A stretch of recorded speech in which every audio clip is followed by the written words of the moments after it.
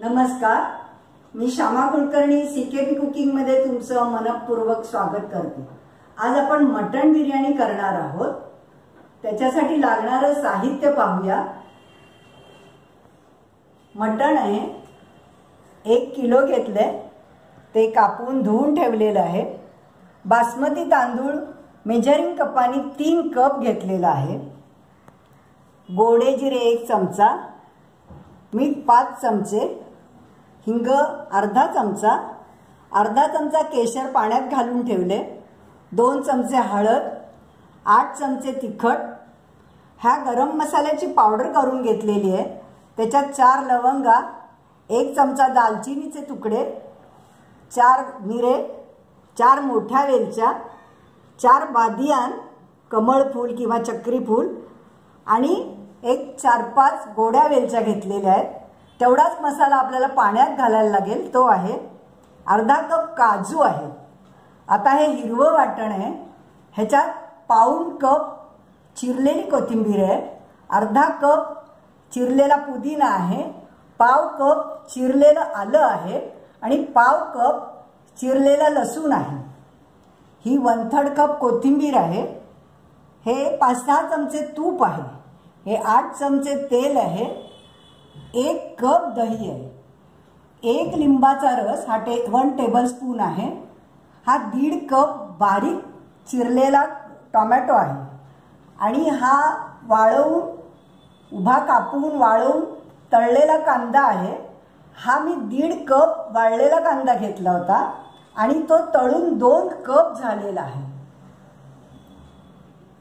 आज आपण दम बिर्याणी बनवणार. आता आपण मटणाला मसाला लावूया. म्हणजे ते दीड दोन तास आपल्याला मॅरिनेट करावं लागेल. नंतर मी तांदूळ पण धुवून उपसून ठेवीन.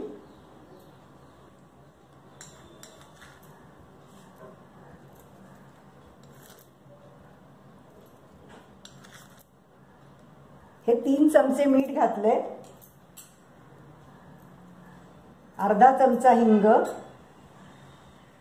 यातलं थोडं केशर आपण मटणाला घालणार बाकी आपण भाताला लावायला ठेवणार. एक चमचा हळद आपण मटणाला लावणार आणि एक चमचा फोडणीत घालणार.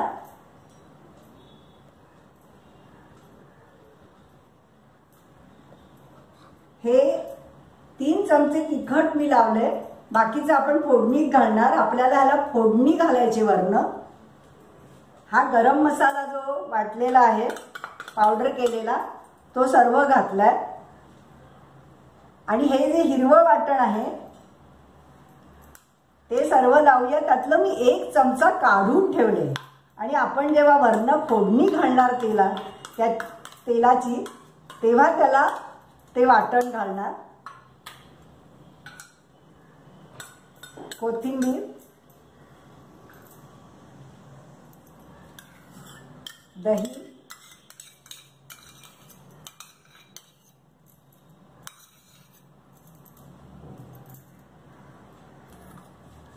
टोमॅटो.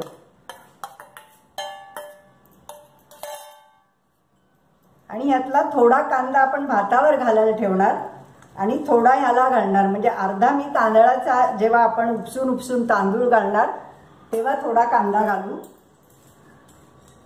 आता हे आपण लावून ठेवू असं चोळून ठेवू. आणि हे दोन तास तरी आपल्याला ठेवायला लागेल. हा एक टेबलस्पून जो लिंबाचा रस काढलाय तो पण ह्याच्यावर ओतायचा आहे. आणि हे सगळं आपण पातेल्यात घालणार. आता हे पातेलं मी कसं तयार करून ठेवलंय पहा. थोडंसं मोठंच पातेलं घ्यायचं. आणि त्याला तूप लावून बटाट्याचे असे गोल गोल काप करायचे. आणि ते खाली संपूर्ण बुडाला बटाट्याचे काप लावायचे. म्हणजे आपल्याला मटण आपलं खाली लागणार नाही. कारण दम बिर्याणीमध्ये आपण खाली मटण ठेवणार आणि वरती आपण भात उपसून उपसून घालणार आहोत. म्हणजे उकळत ठेवणार आणि उपसणार. भात शिजवणार नाही आपण. आता आपल्याला फोडणी द्यायची ह्याला. तर हे मटण मी आता पातेल्यात घालते. आणि आपण ह्याच्यावर फोडणी ओतणार आहोत. हे आठ चमचे तेल घेतलेलं आहे आपण.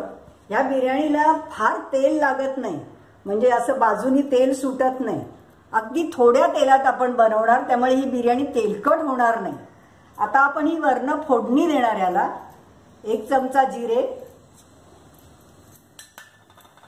हे जे एक चमचा हिरवं वाटण मी काढून ठेवलं होतं ते आपण तेलात घालणार.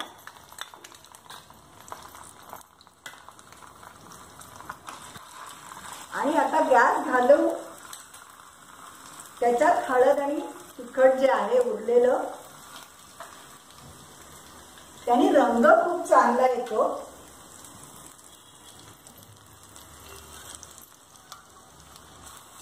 आता ही फोडणी आपण ह्या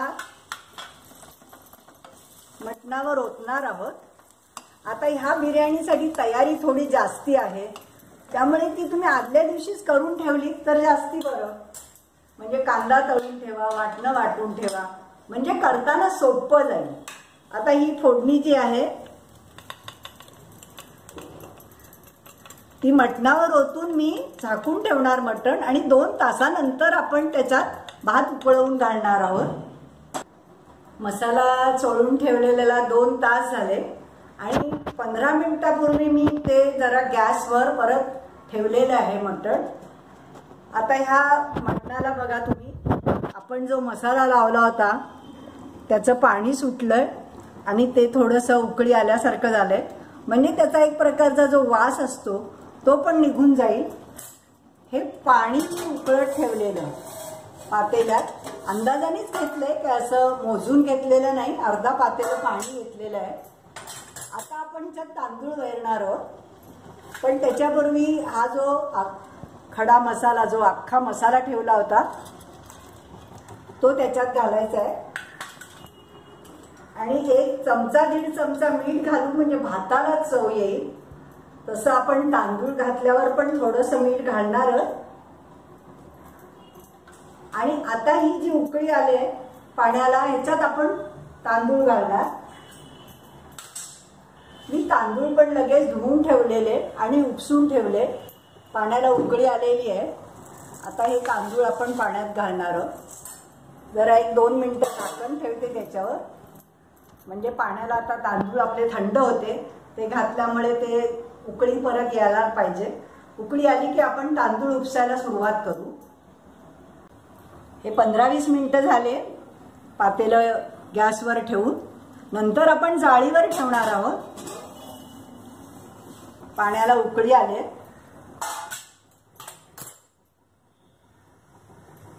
आता ह्या मटणावर परत मी थोडा हा जो तळलेला कांदा होता समजा तुमच्याकडे वाळलेला कांदा नसेल तर कांदा पातळ कापून घ्या उभा आणि तो तळा तरी असा कुरकुरीत करून घ्या. याच्यावर थोडेसे काजू घातले.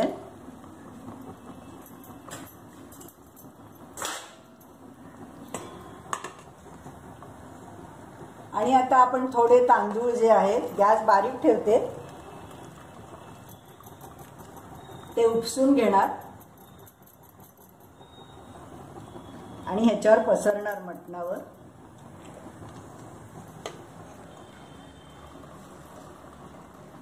गोड्या वेलचीनी वास खूप छान येतो बिर्याणीला.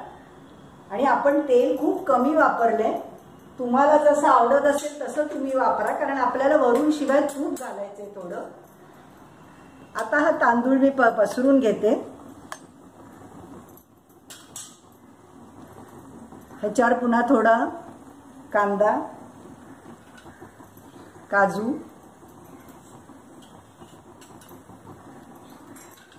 आणि हे जे केशर भिजवलं होतं तुम्हाला रंग हवा तर रंग घाला. मला जरा केशर आवडतं. आणि केशराचा वास पण खूप छान लागतो. हे तांदूळ असेच उकळत राहणार आणि आपण त्याचे उपसत राहणार तुम्हाला भात कसा आवडतो त्याप्रमाणे तुम्ही तांदूळ घ्या. मटण जास्ती आवडत असेल तर तांदूळ कमी घ्या. आता हे परत दुसऱ्यांदा मी पसरले. म्हणजे हा अर्धा कच्चा भात झाला. पुन्हा याच्यावर थोडा कांदा घालायचा आहे. काजूचे तुकडे घालायचे. आणि केशर घालायचे.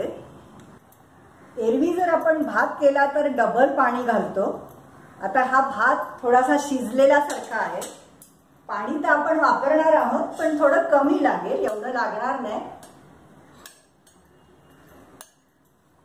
असे तांदळाचे थर घालत घ्यायचे त्याच्यावर. म्हणजे भात उकळून घेऊन त्याच्यावर थर घालत घ्यायचे पण तो पूर्ण शिजलेला भात नाही एवढं लक्षात ठेवा.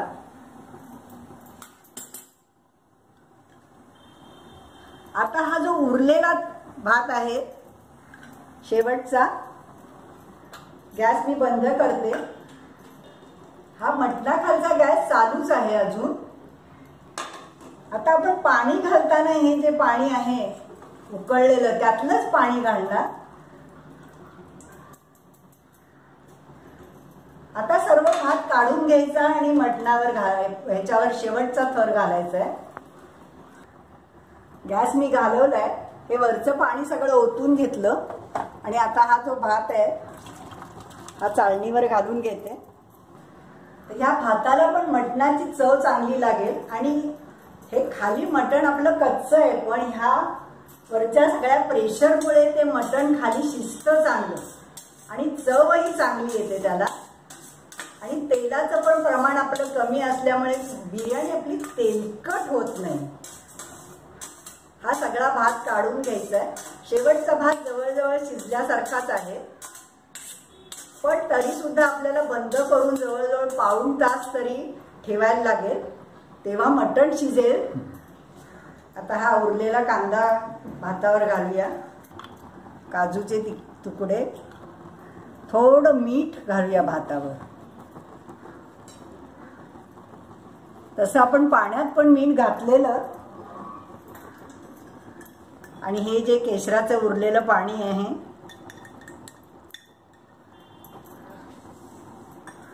आता आपल्याला ह्याच्यात पाणी घालायचं आहे त्याचं थोडं कालथ्यानी मध्ये मध्ये त्याला होल पाडून घेतल्यासारखं. आणि आता पाणी आणि तूप आपल्याला घालायचं आहे साधारणपणे तीन कपाला सहा कप पाणी लागलं असतं पण आपला हा भात जवळजवळ शिजल्यासारखा आहे. त्यामुळे एवढं पाणी काही लागणार नाही. पण मटण पण शिजलं पाहिजे आणि आपली बिर्याणी ओलसर राहिली पाहिजे.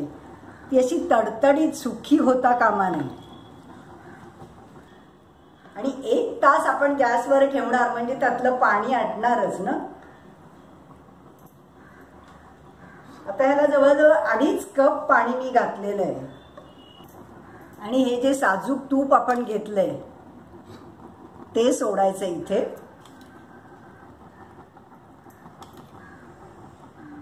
एक पाच सहा चमचे तूप आपण घालू.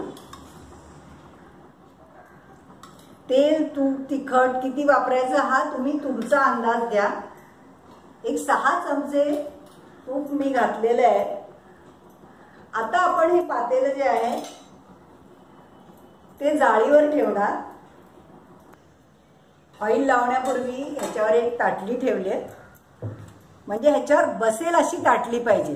आता समजा तुम्हाला फॉईल लावायची नसेल तर कणिक भिजवा भरपूर.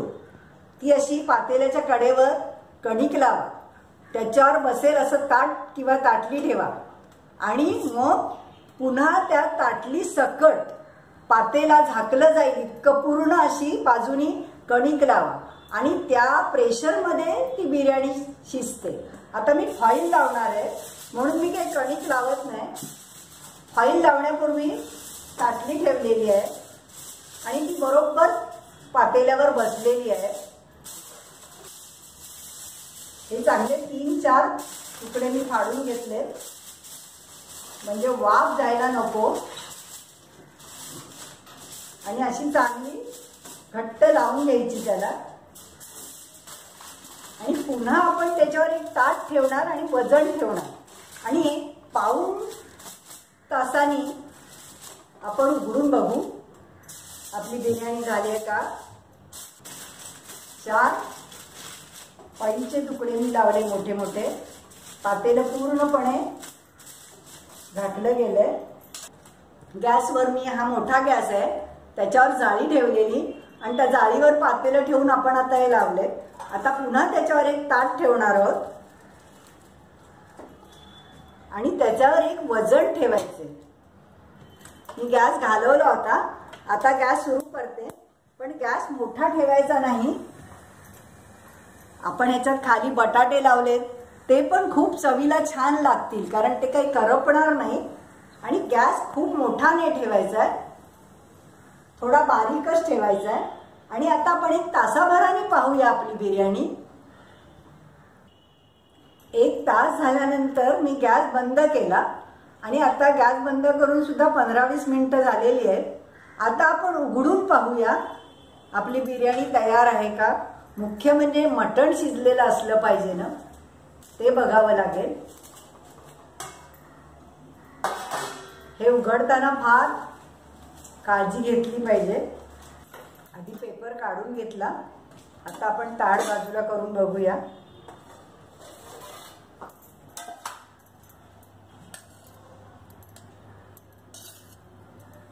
अशी एका बाजूनीच कालता घालून काढावी लागेल.